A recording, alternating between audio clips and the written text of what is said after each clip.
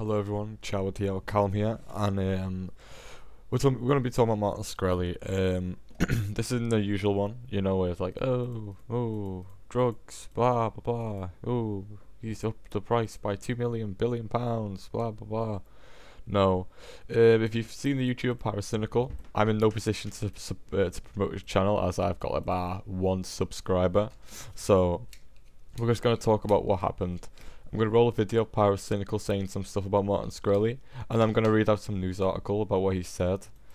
Not, not like, it, it, it, can't be real. Like, like, he must have seen Pyrocynical's video. Like, it, it, there's no way.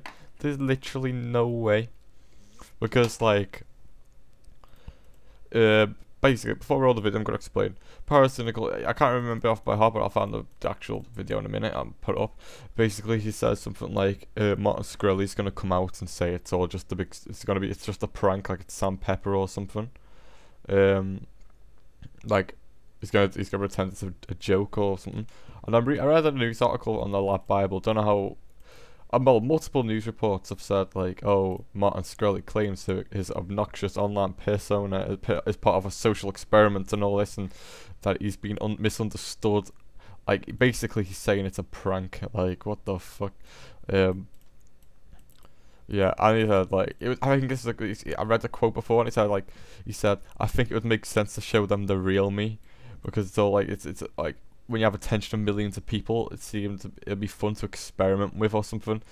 And then, so basically, he just confirmed himself that that was a social experiment. And now, um, I know that now the social experiment is that. That was two days ago. I was supposed to make this like two days ago, but I just couldn't be asked. But so basically, Pyrocynical, Pyrocynical predicted 9/11. Basically, basically that's what it means. Um, and now reading news articles now, um, apparently his his company is completely imploded. Apparently, apparently it's just fucked over, and apparently his new the new um the new success the successor of him, the guy who's taken over, has had his own issues as well. So that doesn't make things any better at all. Like what what what what does that even mean, dude? Like literally, oh my god. He just he had the chance to you know he just wanted a bit of fame, you know. He got his fucking 20 million minutes of fame. Fucking. The thing is, he's young as well. He's only 32. Like, what the fuck? Why would you waste your. Why? Why would you want to be known as the most hated man on the internet? Like, what, what's he what's he doing? And I'm going to roll the clip from Pyrocynical, oh, if I haven't already. So, here you go. You'll see it. And then. once you've seen it, I'll come back and I'll be like, ah, yeah, here we go. So, I'll see you all in a minute. I'd love to hear this guy testifying in court. He just doesn't seem like a guy who would be able to defend himself well in court. I could easily imagine him pulling out a little Sam Pepper excuse to get out of this situation. It's just a prank, bro. So there we have it. Pyrocynical predicted 9/11. Pyrocynical pre- predicted Titanic. Pyrocynical predicted fucking Obama being elected. Let's be honest. Pyrocynical predicted bomb in Syria. Let's be honest. Like what the fuck? Okay, so basically, I know it's probably just one huge coincidence that it was completely made as a joke, but there's literally no way that this can be real. If this is 100% legit that he said it was a, a social experiment, not even that, just it was like a joke. If there's any evidence of this, like the news reports, I don't follow, I don't believe the news anymore. Like, the news are just manipulating stories all the time to try and change our ideology from a country's perspective.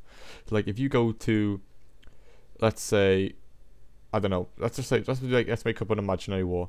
Let's say the UK had a war with fucking Nigeria, okay, like in 2010, and the UK completely fucking wrecked their asses. Like they just got fucking raped. Like they just got like their their country isn't a stable country anymore. Like many other stable con- like many other countries that are now not stable because of the UK.